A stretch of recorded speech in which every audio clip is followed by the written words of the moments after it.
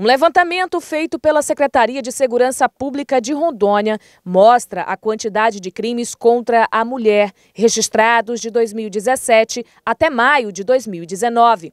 O relatório revela a idade, o tipo de violência sofrida e a condição de trabalho das vítimas. O crime de maior incidência é o de ameaça, com 11.561 ocorrências. E em segundo, colado, está o de lesão corporal, com 11.559. Esses dados foram coletados em um período de 29 meses. Isso significa que, por mês, foram registradas aproximadamente 400 ocorrências.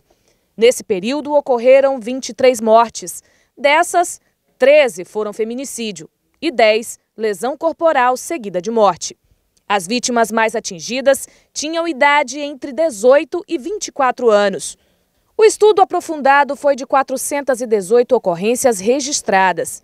Em 166 delas, as vítimas eram desempregadas e apenas 47 estudavam.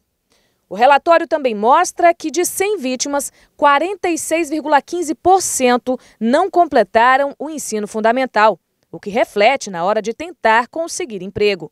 De cada 100 mulheres, 64 alegam que foram agredidas fisicamente e elencam três motivos: marido agressivo, separação ou ciúmes. Ele chegou do trabalho, deitou na rede e eu estava cochilando, que eu cheguei do meu plantão de manhã, aí eu estava cochilando agora de tarde. Aí quando eu me assustei, ele já veio me xingando, me esculhambando, dizendo que eu tinha outro homem no meu trabalho, que ia me matar, depois ele ia se matar. Aí quando ele já veio com a faca para cima de mim, aí eu fui me defender, querer segurar a faca, foi onde cortou aqui, aí ele rasgou meu vestido, dizendo que não era para mim gritar e nem pedir socorro. Pegava eu, tirava minha roupa, deixava pegar. Ele, eu quero sim, eu quero, ele xingava A senhora era obrigada a fazer o que não queria? Ele, porque ele tacava um murro em mim. Se a senhora não fizesse, ele batia na senhora? Era rasgar minha roupa porque ele, ele fez sua violência comigo.